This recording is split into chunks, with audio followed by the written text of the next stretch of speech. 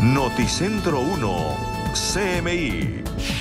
Extraditan a alias Nini Joana Úsuga, hermana de alias Otoniel. Es requerida por el Distrito Sur de la Florida. Operativo contra el clan del Golfo en Bolívar. Capturados por extorsión y secuestro.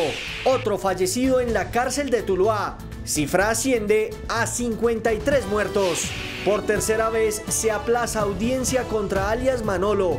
En 10 días se cumple un año de su entrega. Dos soldados mueren en ataque armado en Antioquia. Brutal golpiza contra detenido en estación de policía de Bucaramanga. Con Luisa Tobo. Muy buenos días, bienvenidos a Noticentro 1 CMI. Esta mañana fue extraditada a los Estados Unidos Nini Joana Úsuga, alias La Negra, hermana de alias Otoniel. Según las autoridades, La Negra era responsable de las finanzas del clan del Golfo. Estilo Vengas tiene el reporte. Stick, buenos días. Luisa y televidentes, así es, en la mañana de este viernes se materializó la extradición de Nini Joana Usuga David alias La Negra, hermana de alias Otoniel, quien también fue extraditado hacia ese país. En las imágenes ustedes están viendo todo el proceso en el aeropuerto de Catam en la mañana de hoy cuando se realizó toda esta diligencia. También fueron extraditados otras seis personas, entre estos dos exintegrantes de las FARC, uno identificado como Luis Eduardo Carvajal Pérez alias Rambo y otro conocido como Jamison Cuero Perlaza, alias Jamison, alias La Negra, requerida por la Corte del Distrito Sur de la Florida. Esto ocurrió hoy en la mañana y fue por parte de la Policía Nacional, la dirección, quienes confirmaron la noticia de esta importante extradición, la hermana de alias Otoniel. Hablamos también ahora de otra importante noticia y tiene que ver con el plan Éxodo que se activó para estas fiestas de San Pedro y San Pablo. Cerca de 4 millones de vehículos saldrían paso peaje por las diferentes carreteras del país. Las autoridades entregaron recomendaciones. Esperamos que se movilicen más de 3 millones y medio vehículos paso peaje por las vías nacionales, así como más de 1.300.000 pasajeros en las terminales de transporte terrestre y más de 500.000 pasajeros en los aeropuertos para efectos de usar el transporte aéreo.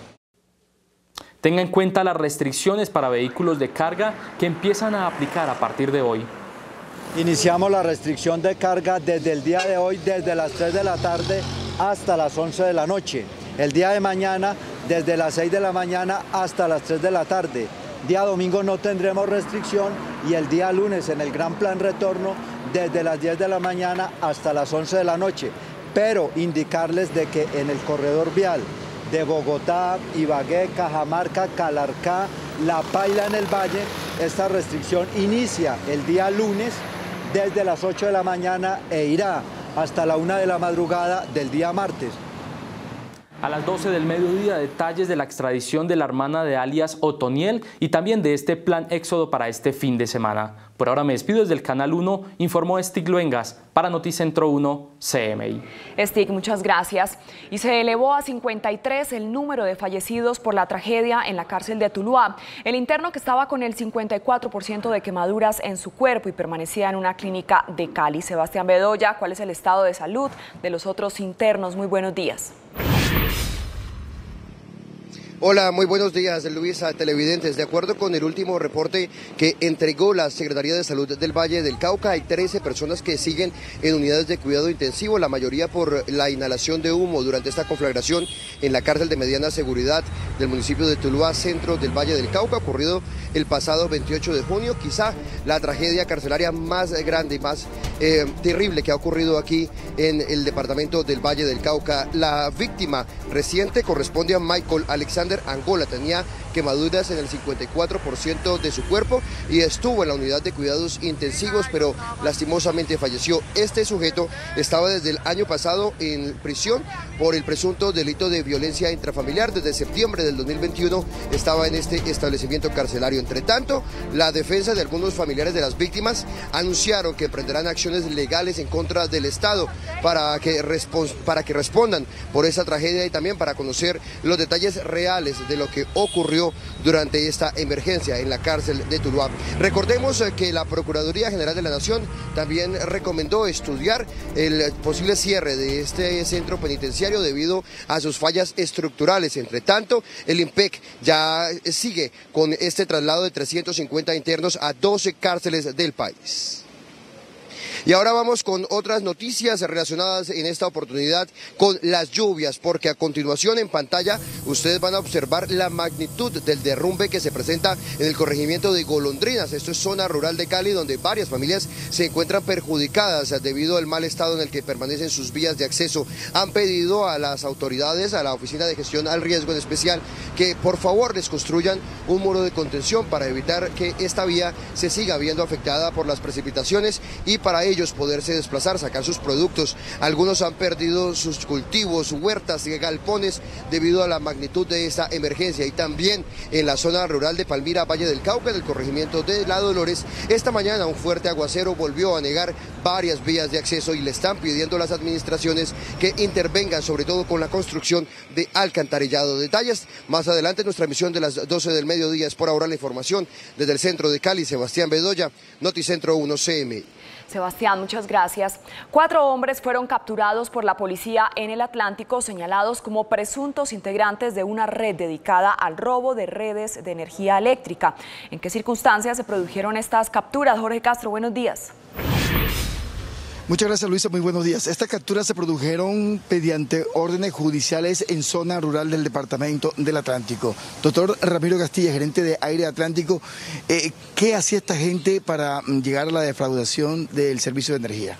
Bueno, en este caso en particular las personas capturadas se dedicaban a hurtar las redes, ocasionaban la interrupción del servicio en zonas rurales, especialmente en carreteras no visibles o de poco tránsito, para luego hurtar este material y trasladarlo a centros de, comercialización clandestina. Hemos, ah, con el apoyo de la Policía Nacional, se ha logrado la captura de estas personas y también de esta manera reducir a quienes insisten en el robo de redes, en el robo de energía, afectando a nuestros usuarios en los diferentes municipios. Este ha sido un compromiso de la compañía y hemos tenido el apoyo permanente de la policía y la fiscalía para combatirlos. Doctor, ha dicho usted que son cerca de 53 kilómetros lo que se han eh, robado en casi dos años de operación de la empresa aire en el departamento. Así es, han sido cerca de 53 mil metros de redes que han sido hurtadas, pero también han sido 143 las personas capturadas por este delito, lo que demuestra ese compromiso de la compañía y el acompañamiento de la policía para reducir a quienes insisten en afectar a nuestros usuarios, quitándoles el servicio de energía, afectando la prestación del servicio de agua, de saneamiento básico de los hospitales, nuestros usuarios que necesitan del servicio para poder tener un equipo que les permita unas condiciones de vida y de salud necesarias se ven afectados por este tipo de actos. Muy amable doctor Ramiro Castilla, es el gerente de la empresa Aire en el Departamento del Atlántico. Estas cuatro personas capturadas serán llevadas a audiencias concentradas en el municipio de Sabana Larga. Más adelante tendremos otros detalles de esta noticia desde Barranquilla. Así es, Jorge, gracias. Y por tercera vez se aplaza la audiencia contra alias Manolo, el hombre señalado de abusar de un grupo de niños en una escuela de Medellín. El 10 de julio se cumplirá un año de haberse entregado a las autoridades. Yussi Chaparro, ¿qué va a pasar con este proceso? Muy buenos días. Hola Luisa, buenos días. Aún no se sabe, hay incertidumbre tanto en los abogados como también en los padres de familia, pues se ha cancelado por tercera vez esta audiencia y ha pasado un año, todavía no se ha avanzado en el proceso y los abogados de la defensa de este hombre, alias Manolo, podrían pedir su libertad y llevar el proceso y la investigación contra él en libertad por vencimiento de términos. Justamente a esta hora, 11 y 9 de la mañana, me acompaña Esteban Gómez, quien es el abogado de 12 niños. Él lo representa, pero en total, según lo reconocido, eh, por el ICBF serían 43 los abusados sexualmente. Abogado, buenos días. ¿Qué es lo que ha pasado durante este año? ¿Por qué no se ha avanzado en este caso? Buenos días. Pues a lo largo de este año, desde que se dio la captura de en Manolo, eh, la Judicatura ha programado unas diligencias para desarrollar lo concerniente al proceso. Se realizaron eh, la audiencia de acusación efectivamente, eh, se han iniciado las audiencias eh, preparatorias, sin embargo en lo que respecta a la prórroga de la, solicitud de prórroga de medida de aseguramiento no ha sido posible desarrollarla eh, aduciendo fallas en la conexión por parte del penal para que este señor Manolo se haga presente en las diligencias. Abogado, es normal que haya tantas fallas en esta conexión que solamente se puede hacer virtual porque él está en la cárcel de Valledupar y podría recuperar la libertad.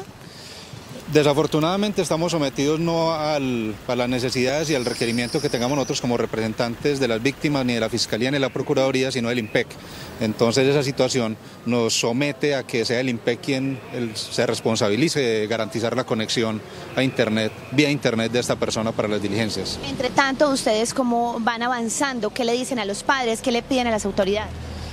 Pues es obvio y es entendible que los papás se encuentran muy ansiosos, eh, quieren que se sepa la verdad, quieren que se responsabilice esta persona por lo que acaeció contra los menores.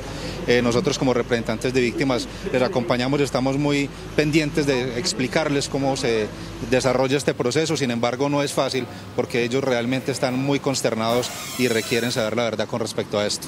Muy bien, abogado, muchas gracias. Ellos están ansiosos y consternados, pero también están siendo afectados estos niños que quedaron sin atención psicológica ante el trauma que sufrieron por este abuso sexual por parte de alias Manolo. Y en otras noticias de Antioquia, a las 11 y 11 de la mañana se presentaron dos hechos de ataques contra la fuerza pública, ambos en el corregimiento de Currulao, en el municipio de Turbo, en el Urabá antioqueño. El primer caso falleció el soldado Iván David Díaz Rodríguez y en el segundo caso José Felipe Borges mientras adelantaban algunas operaciones en la carretera, fueron atacados por el clan del Golfo. En este momento las autoridades adelantan las investigaciones para dar con los responsables de estos dos ataques contra la fuerza pública y que sería también el quinto en menos de un mes en el departamento de Antioquia. Y en más noticias, a las 11 y 12 de la mañana también quedó registrado en video una fuerte agresión, una golpiza en un caso de intolerancia por parte de un motociclista a un guarda de tránsito en la avenida Ferrocarril, en el centro de la ciudad. Al parecer este motociclista estaba circulando por una zona prohibida y fue abordado por este guarda para hacerle comparendo y fue allí cuando lo atacó. Y continuando con informaciones de Medellín, sigue la investigación, en este caso ya asumida por el ICBF de la muerte de una niña quien tenía autismo, era adoptada, tenía una familia sustituta y murió al parecer por negligencia médica. Esta era la pequeña Guadalupe Mosquera de 7 años. Según la denuncia de abogados y personas cercanas, murió por una presunta negligencia de la familia sustituta que la había adoptado con un proceso del Instituto Colombiano de Bienestar Familiar. La menor sufrió una herida en la pierna y al parecer no la llevaron al hospital. Después de 20 días con fiebre, falleció. Pero no antes sí unos golpes y no soportó la cirugía y me llama mucho la atención una historia clínica con código fucsia. Se espera que las autoridades adelanten las investigaciones para esclarecer la muerte de la niña quien tenía autismo y si además era víctima de maltrato.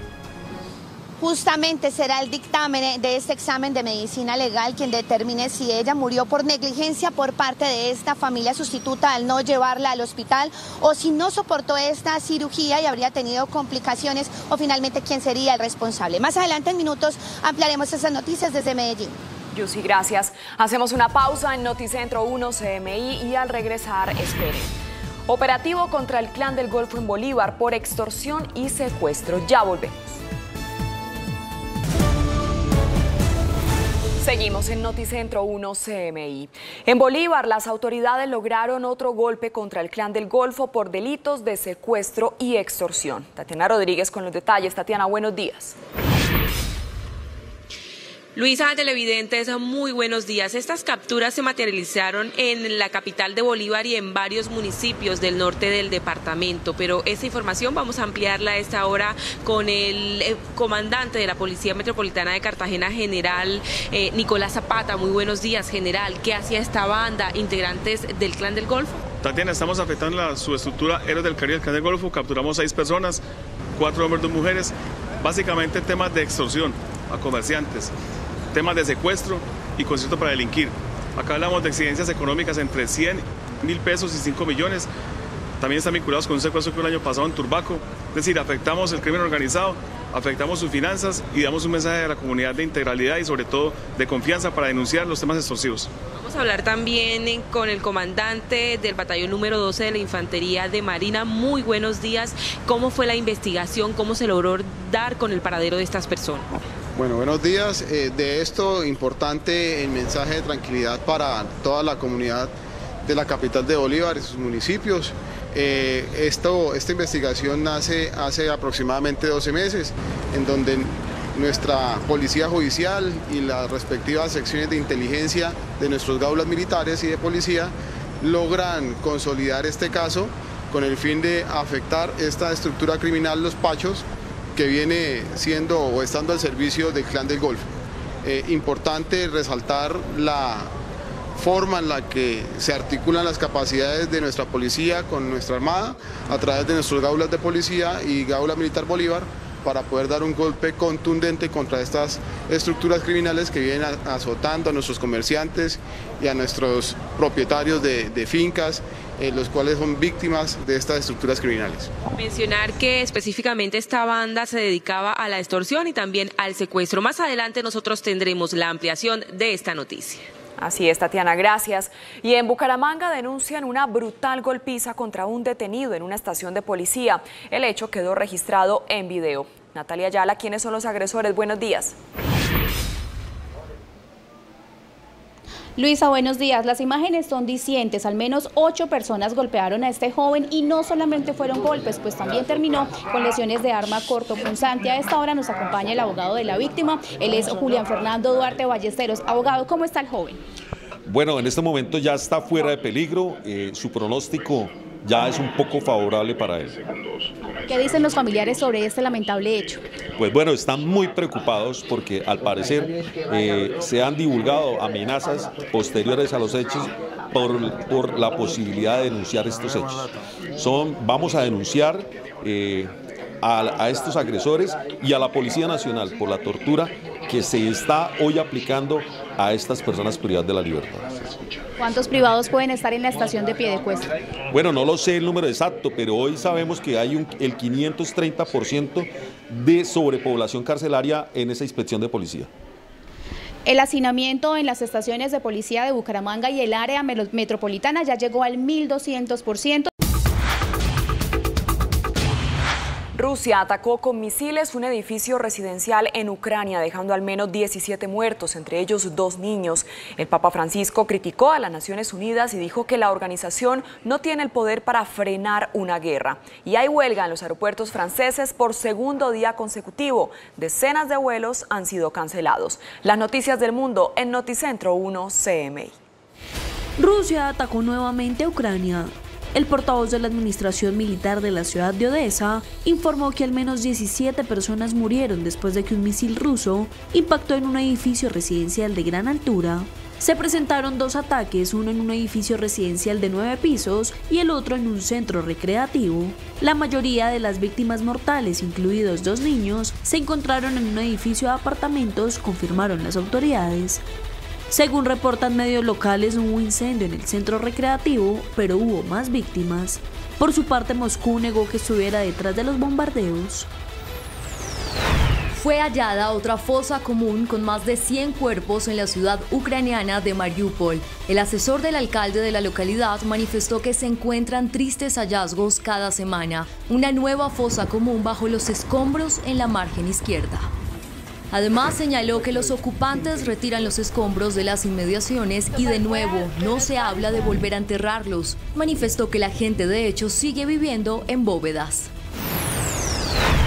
El Papa Francisco le brindó una entrevista a la agencia estatal de noticias argentina TELAM, en la que abordó varios temas de la coyuntura mundial, el rol de las instituciones, la importancia de los jóvenes, la problemática social y la responsabilidad de los gobiernos, la relación entre los medios y el poder. El sumo pontífice durante la entrevista habló de las distorsiones que vive el mundo a raíz de la invasión de Rusia a Ucrania y criticó fuertemente a las Naciones Unidas, manifestando que no tiene el poder para frenar una guerra.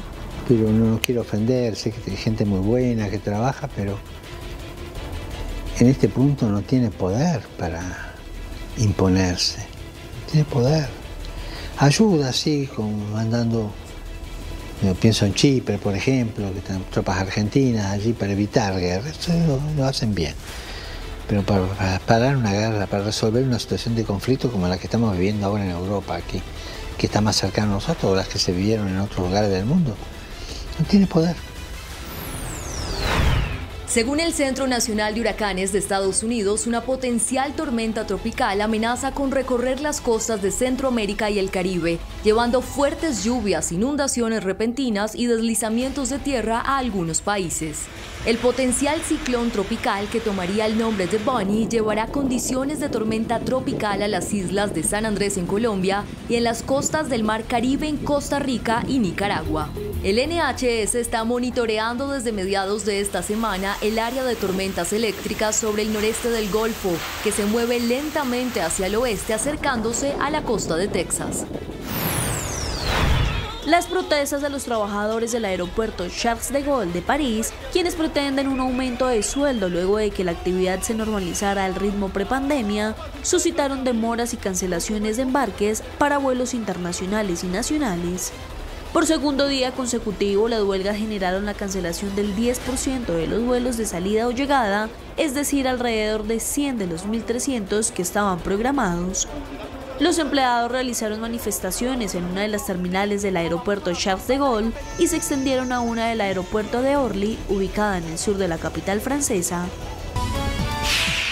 Extraditan a alias Nini Joana Úsuga, hermana de alias Otoniel. Es requerida por el Distrito Sur de la Florida. Operativo contra el clan del Golfo en Bolívar. Capturados por extorsión y secuestro. Otro fallecido en la cárcel de Tuluá. Cifra asciende a 53 muertos. Por tercera vez se aplaza audiencia contra alias Manolo. En 10 días se cumple un año de su entrega. Dos soldados mueren en ataque armado en Antioquia. Brutal golpiza contra detenido en estación de policía de Bucaramanga. Con Luisa Tobo.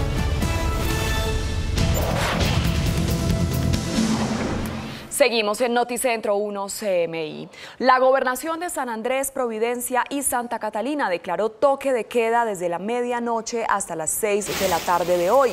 Los fuertes vientos y las lluvias que se presentan en la isla por el paso del ciclón Tu, que se convierte en tormenta tropical, azotan a esta hora a los habitantes y a los turistas que se resguardan en sus viviendas y hoteles. Y esta mañana extraditaron a los Estados Unidos a Nini Joana Úsuga, alias La Negra, hermana de alias Otoniel. Según las autoridades, La Negra era responsable de las finanzas del clan del Golfo.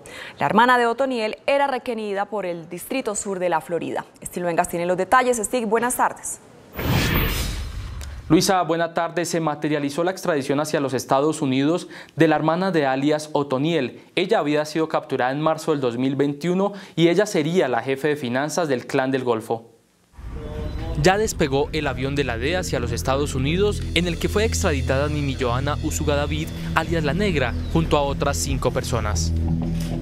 La Interpol encabezó el proceso de extradición de alias La Negra, quien sería la encargada de las finanzas del grupo criminal a partir del lavado de activos y los enlaces con carteles internacionales para el envío de cocaína a distintos países. Alias La Negra fue capturada en marzo de 2021 en Sabaneta, Antioquia. Junto a alias La Negra fue extraditado Luis Eduardo Carvajal Pérez, conocido con el alias de Rambo, ex miembro de la columna Daniel Aldana, capturado en junio de 2018 en Caquetá. También Jamison Cuero Perlaza, alias Jamison, considerado como el rey de los semisumergibles de las FARC y encargado de la recolección y procesamiento de estupefacientes para las disidencias del Frente 30. Alias La Negra es requerida por la Corte del Distrito Sur de la Florida. Se le presentó a alias La Negra la circular roja por los delitos de la asociación ilícita con miras de distribuir 5 kilogramos o más de cocaína a sabiendas que iban a ser importados ilícitamente a Estados Unidos. En total, siete personas extraditadas, dos exintegrantes de las FARC y también la hermana de alias Otoniel. Hablamos ahora del plan Éxodo que se activó para este fin de semana en las fiestas de San Pedro y San Pablo. Cerca de 4 millones de vehículos paso peaje se movilizarían por las carreteras del país. Para este puente festivo de las fiestas de San Pedro y San Pablo, se estima que salgan más de 3,5 millones de vehículos por las carreteras principales del país. Esperamos que se movilicen más de 3 millones y medio vehículos paso peaje por las vías nacionales, así como más de 1.300.000 pasajeros en las terminales de transporte terrestre y más de 500.000 pasajeros en los aeropuertos para efectos de usar el transporte aéreo. Tenga en cuenta que desde hoy habrá restricción para vehículos de carga. Iniciamos la restricción de carga desde el día de hoy, desde las 3 de la tarde hasta las 11 de la noche.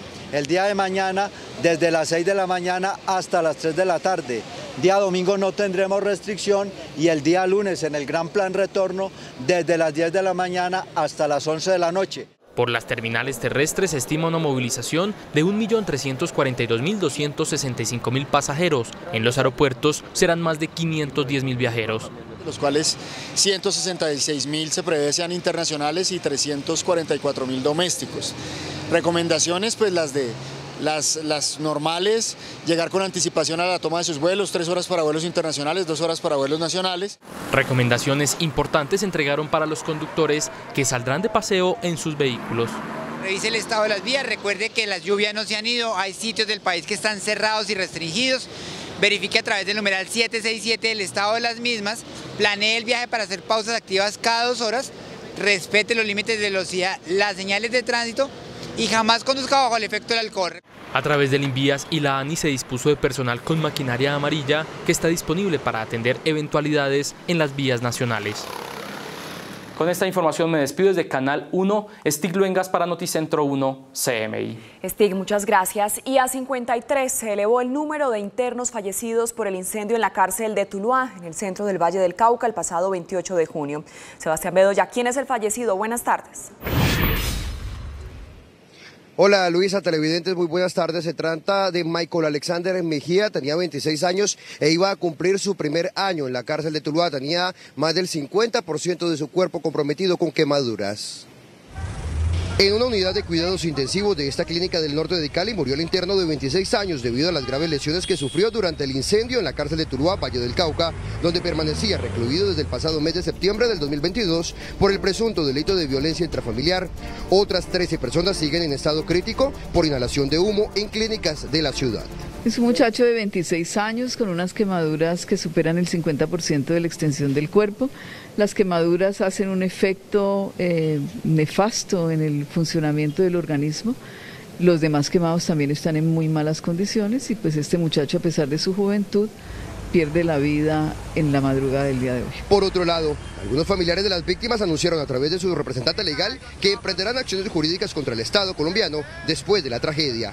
Estas familias tienen derecho, antes que nada, a la verdad, a que se establezca la verdad de lo sucedido, porque solamente se logrará establecer los responsables de todos estos hechos. Por otro lado, la Gobernación del Valle emprendió una campaña de donación para ayudar a 90 internos que aún siguen en el penal. Nosotros estamos muy preocupados por la situación dramática que están viviendo 90 personas que quedan vivas y sus familias. En ese incendio se perdió lo poco que podían tener las eh, personas detenidas de la libertad en ese lugar. No tienen con qué cambiarse, no hay una toalla, no hay una cobija. Entonces estamos pidiendo solidaridad y compasión. Entre tanto, el Instituto Nacional Penitenciario sigue con los traslados de 350 personas privadas de la libertad hacia 12 cárceles del país debido a las fallas estructurales que presenta el antiguo penal.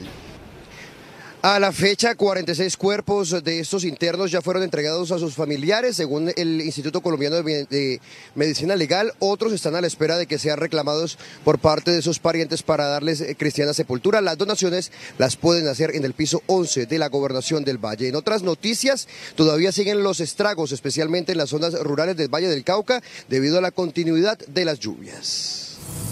Esta es la magnitud del deslizamiento de tierra que dificulta la movilidad de la comunidad del corregimiento de Golondrina, zona rural de Cali.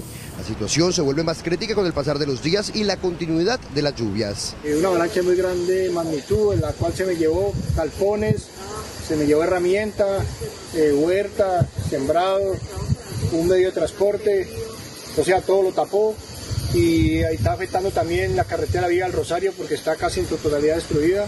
Mientras que en el corregimiento de las Dolores, en Palmira, Valle del Cauca, el panorama por la falta de alcantarillado es caótico. Las vías están anegadas por las torrenciales precipitaciones. Existe una acción popular en la cual a esta fecha ya debería tener este sector alcantarillado Estamos ubicados aquí alrededor de 145 empresas que aportamos al municipio un promedio de 5 mil millones de pesos en impuestos. A la fecha, todos los municipios reportan afectaciones por las difíciles condiciones climáticas en el Valle del Cauca. Los organismos de socorro siguen en alerta, especialmente monitoreando los ríos de la región y reiteran el llamado a todas las personas que durante este puente festivo eviten ir a los ríos durante las lluvias. Es por ahora la información desde el centro de Cali, Sebastián Bedoya, Noticentro 1 CMI. Sebastián, muchas gracias. Y por tercera vez se aplaza la audiencia contra alias Manolo, el hombre señalado de abusar de un grupo de niños en una escuela de Medellín. El 10 de julio se cumplirá un año de haberse entregado a las autoridades. Yusi Chaparro, buenas tardes. ¿Por qué se aplazó la audiencia? Hola Luisa, buenas tardes. Según lo que manifiestan los padres de familia y también los abogados, se debe a una supuesta falla de conexión, de conectividad que habría en estas audiencias que son virtuales y que la responsabilidad sería del IMPEC. Sin embargo, los padres piden que se investigue estas continuas fallas, pues es la tercera vez que se cancelan y no se ha podido avanzar en estas audiencias. Entre tanto, como usted lo mencionaba, el próximo 10 de julio se cumple un año y la defensa podría pedir su libertad por vencimiento de términos. Con tristeza, rabia e impotencia, padres de familia de los niños abusados sexualmente por alias Manolo en un hogar infantil de Medellín piden que se haga justicia. Las audiencias se han cancelado tres veces y el 10 de julio se cumple un año de los hechos. Por eso temen que quede en libertad por vencimiento de términos es que nosotros nos sentimos impotentes, es que ya nos da rabia y desilusión del Estado y de la justicia, porque se supone que debe ser una justicia pronta, que debe ser real, pero eso no se ha visto en este caso, lo cual es súper extraño. Es que son niños y se supone que los niños son la razón fundamental de Colombia y esto no pasa en este caso. O sea, los niños de Santa Cruz eh, no existen para el Estado. Sabemos que esas son estrategias de dilación que está usando la defensa, eso es clarísimo y así se le está permitiendo la justicia colombiana a este señor. El abogado de las familias explicó que alias Manolo se encuentra en una cárcel de Valledupar y las audiencias son virtuales, han sido canceladas por falta de conexión. Hasta el momento hemos logrado surtir la etapa de la audiencia preparatoria previa a entrar a la etapa de juicio oral. Desafortunadamente, eh, la defensa de alias Manolo ha solicitado unas audiencias eh, previas frente a un juez de control de garantías para realizar unas búsquedas selectivas en bases de datos. Y es el IMPEC quien se encarga de garantizar la conexión vía Internet de esta persona a las diligencias y desafortunadamente no ha sido posible. Alias Manolo está siendo procesado por presunto abuso sexual de 20 niños que eran sus alumnos en el hogar infantil, pero según denuncias de las familias del barrio Santa Cruz, serían 43 las víctimas.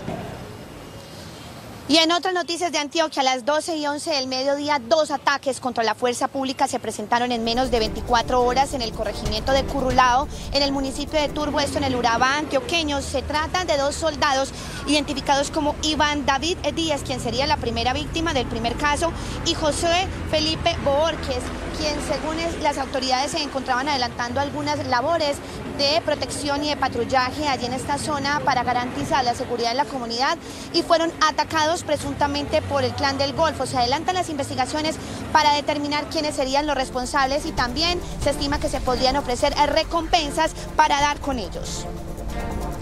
Y finalmente, en más noticias de Medellín, en video quedó grabado este impresionante, impactante caso de intolerancia entre un motociclista y un guarda de tránsito. Se presentó en la avenida Ferrocarril, en el centro de Medellín, eh, a pleno mediodía, cuando este motociclista al parecer transitaba por una zona prohibida, según lo indicaron las autoridades, era peatonal y cuando el guarda de tránsito se acercó para hacerle el comparendo, este lo atacó a golpes en un caso de intolerancia. Se analizan las imágenes para determinar eh, cuáles serían las responsabilidades del conductor y si tendría sanciones. Y siguiendo con información de Medellín, hay una impactante denuncia por parte de abogados y defensores de derechos humanos, quienes indican que una niña de 7 años, quien sufría autismo, al parecer murió por negligencia por parte de la familia sustituta que la había adoptado en un proceso del bienestar familiar. No la llevaron al médico, la niña fue intervenida y finalmente murió. Entre tanto, el ICBF dice que se están adelantando las investigaciones que esperan el dictamen de medicina legal. Esta era la pequeña Guadalupe Mosquera de 7 años. Según la denuncia de abogados y personas cercanas, murió por una presunta negligencia de la familia sustituta que la había adoptado con un proceso del Instituto Colombiano de Bienestar Familiar. La menor sufrió una herida en la pierna y al parecer no la llevaron al hospital. Después de 20 días con fiebre, falleció. Pero no antes sí, unos golpes y no soportó la cirugía. Y me llama mucho la atención una historia clínica con código fucsia. Se espera que las autoridades adelanten las investigaciones para esclarecer la muerte de la niña, quien tenía autismo y si además era víctima de maltrato. Justamente se analizan unas imágenes, unos videos que al parecer fueron grabados a la niña cuando estaba en vida, en donde se quejaba y denunciaba que era maltratada. Esto desde Medellín a las 12 y 13 del mediodía. Yusi Chaparro, Noticentro 1 CMI. Feliz puente festivo. Yusi, muchas gracias. Hacemos una pausa en Noticentro 1 CMI y al regresar espere. Operativo contra el clan del Golfo en Bolívar, capturados por extorsión y secuestro. Ya volvemos. Seguimos en Noticentro 1 CMI. En Bolívar, las autoridades lograron otro golpe contra el clan del Golfo por los delitos de secuestro y extorsión. Tatiana Rodríguez con los detalles. Tatiana, buenas tardes. Luisa, televidentes, muy buenas tardes. Este grupo delincuencial recaudaba hasta 80 millones de pesos producto de las extorsiones a ganaderos, tenderos y comerciantes. Luego de un año de investigaciones, la Policía Metropolitana de Cartagena y el Gaula Militar materializaron las capturas del grupo delincuencial Los Pachos al servicio del Clan del Golfo que operaban en Cartagena y varios municipios del norte del departamento de Bolívar. Estamos hablando de cuatro hombres y dos mujeres dedicadas a la extorsión. De hecho, están siendo judicializados por concierto para delinquir y extorsión agravada. Varios afectados, sobre todo comerciantes en sectores o municipios como Turbaco, María la Baja, sector de Arjona y también indudablemente Cartagena. Estas personas hacían las exigencias económicas recaudando mensualmente hasta 80 millones de pesos. Importante resaltar la forma en la que se articulan las capacidades de nuestra policía con nuestra armada a través de nuestros gaulas de policía y gaula militar Bolívar para poder dar un golpe contundente contra estas estructuras criminales que vienen azotando a nuestros comerciantes. Dentro de los capturados se encuentra Hadid González Gordón, de 35 años de edad, alias El Flaco, detenido en el municipio de Santa Rosa de Lima, quien lideraba la estructura criminal. Estas personas también participaban en el traslado y almacenamiento de cocaína que el Clan del Golfo envía a Centroamérica. Las autoridades continúan con las investigaciones porque han manifestado que más personas harían parte de este grupo delincuencial Los Pachos. Por ahora es toda la información desde Cartagena. Tatiana Rodríguez para Noticentro 1 CMI. Tatiana, gracias. Cuatro hombres fueron capturados por la policía en el Atlántico señalados como presuntos integrantes de una red dedicada al robo de redes de energía eléctrica. Jorge Castro, ¿quiénes son los detenidos? Buenas tardes. Muchas gracias, Luisa. Muy buenas tardes. Fue por orden de un juez en el municipio de Sabana Larga que se dio la captura de estas personas en un operativo adelantado por unidades de la SIGIN de la Policía Nacional en el Departamento del Atlántico. Los cuatro capturados se dedicaban al hurto de redes eléctricas en zona rural del departamento. Tras estos actos delictivos, se afectaba el servicio de energía en poblaciones del Atlántico. Las capturas se produjeron en Sabana Larga y afectaban poblaciones del centro y sur del departamento. Cuatro ciudadanos, después de meses de investigación, un trabajo de filigrana de investigación judicial, articulación de nuestra empresa Aires con la Policía Nacional, la comunidad, logramos llevar elementos esenciales de la investigación para lograr allanamientos y la captura de cuatro ciudadanos dedicados al hurto de cable. Más de 400 metros de cable robado fueron recuperados en los allanamientos. Se inspeccionaron chatarrerías en las que almacenaban las redes robadas. La empresa Aire cuestionó que persiste el robo de redes que no permiten un buen servicio. La principal afectación que tenemos producto del robo de redes es la ausencia del servicio para las comunidades, el que nuestros usuarios se queden sin el servicio y como decía el coronel, la afectación que eso tiene para todos los demás servicios, el servicio de saneamiento básico, el agua, el alcantarillado, el, la atención hospitalaria. Este año ya son 10 los capturados por el delito de hurto en redes eléctricas en los municipios y 153 en los casi dos años de operación de la empresa Aire en Atlántico. El mayor robo de energía en el departamento se concentra en los municipios de Sabana Larga, Ponedera, Juan de Acosta, Tubará y Piojó. Noticias desde Barranquilla con Jorge Castro, Noticentro 1, CMI. Jorge, muchas gracias. Hacemos una nueva pausa en Noticentro 1 CMI y al regresar espere. Brutal golpiza contra detenido en estación de policía de Bucaramanga. Ya volvemos. Seguimos en Noticentro 1 CMI. En Bucaramanga denuncian una brutal golpiza contra un detenido en una estación de policía. El hecho quedó registrado en video. Natalia Ayala, ¿quiénes son los agresores? Buenas tardes. Hola Luisa, buenas tardes. Con 22 impactos de arma cortopunzante, los ojos morados y con varias contusiones, terminó este joven que fue brutalmente golpeado en una estación de policía en pie de cuesta. Su familia denuncia irregularidades.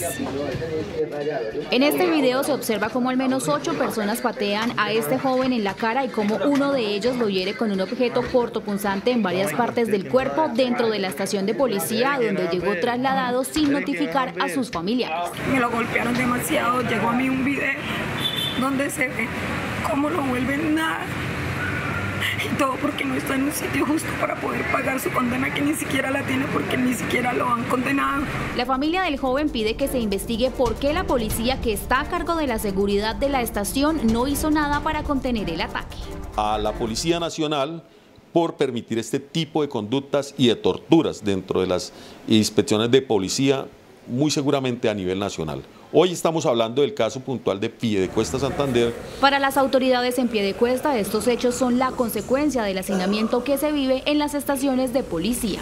Riñas internas a horas en las que presuntamente los demás compañeros están durmiendo y de manera silenciosa se hace lo que presuntamente es un ajuste de cuenta entre los PPL. El detenido fue llevado hasta un centro médico donde se le prestó atención, ya fue dado de alta y está aislado en la misma estación de policía en pie de cuesta.